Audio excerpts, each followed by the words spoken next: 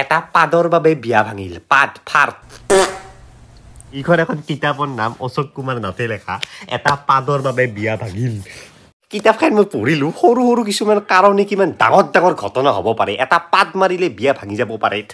তো আপোনালোকে পঢ়িব এনেকুৱা টাইপৰ কিতাপ। মানে এইখন বুলি নহয় কিতাপ পঢ়িব লাগে। কিতাপ পঢ়িলে আমাৰ ইমাজিনেশ্যন বৃদ্ধি হয়। কাৰণ আমি যদি অনলি ভিডিঅ'তে কাহিনী শুনি থাকোঁ ই আমাক দেখাই থাকে। ভিজুৱেলাইজ কৰিব লগা নহয়। আমি দেখিয়ে থাকোঁ। কিন্তু এই কিতাপখনতে আমি পাত মাৰাৰ কথাটো ইমাজিনেশ্যন কৰিব পাৰোঁ যে মই পাত মাৰি দিছোঁ বিয়া ভাঙি গৈছে মোৰ। আৰু সেইটোৱে ভাল লাগে কিবা এটা ডপামিন ৰিলিজ হয় মাইণ্ডত কিবা এটা হয় মুঠতে।